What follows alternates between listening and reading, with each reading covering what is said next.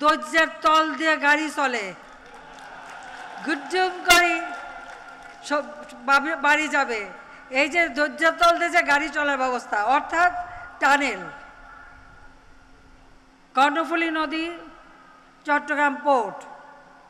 বারবার সিলটেশন হয়। যত বেশি আমরা ব্রিজ করব, তত সিলটেশন বাড়বে। সেই কারণেই আমাদের সিদ্ধান্ত ছিল। যেখানে আমরা নদীর নিচ দিয়ে টানেল করে দেব। কিছুক্ষণ আগেই সেই টানেল আমরা উদ্বোধন করেছি। আর এই টানেল যোগাযোগ ব্যবস্থায়, শুধু চট্টগ্রাম, ঢাকা, চট্টগ্রাম না সমগ্র বাংলাদেশের যোগাযোগ, পাশাপাশি আমাদের আঞ্চলিক যোগাযোগ একটা বিরাট ভূমিকা রেখে যাবে। এখন আর ওই ঝড়, বৃষ্টি উপেক্ষা করতে হবে না।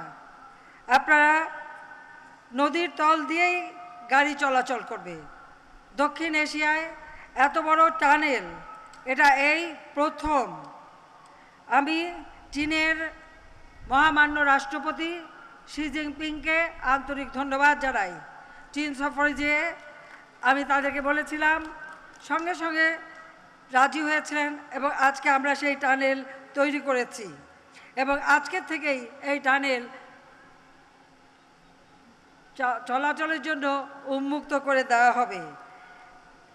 আমরা, আমাদের সবচেয়ে লক্ষ্য যে আমাদের দেশটা আরও উন্নত হোক। এখান থেকে কক্সেস বাজার যেতে বহু সময় লাগতো, এখন আর বেশি সময় লাগবে না।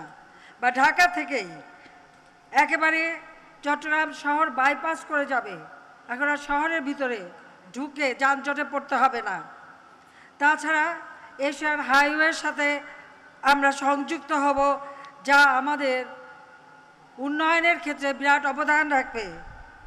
এই প্রকল্প বাস্তবায়নের ক্ষেত্রে যারা জড়িত ছিলেন, আমাদের বিশেষ করে আমাদের সফল পরিবহন ও সেতুমন্ত্রী ওবায়দুল কাদের সহ আমাদের যারা সচিবগণ এবং সমস্ত প্রশাসন, আইন শৃঙ্খলা রক্ষাকারী সংস্থা, আমাদের দেশি বিদেশি প্রকৌশলী জাতীয় আন্তর্জাতিক পরামর্শক বিশেষজ্ঞ, কর্মকর্তা, কর্মচারী, নিরাপত্তা নিরাপত্তা দর- তদারকি করে যাচ্ছে আমাদের নৌবাহিনী এবং আইন শৃঙ্খলা এবং শ্রমিক যারা দিন রাত শ্রম শ্রম দিয়েছেন, কষ্ট করেছেন, সেই শ্রমিক সহ সকলকে আমি আন্তরিক ধন্যবাদ জানাচ্ছি, কৃতজ্ঞতা জানাচ্ছি এই টানেলটা সময় মতো সম্পন্ন করার জন্য।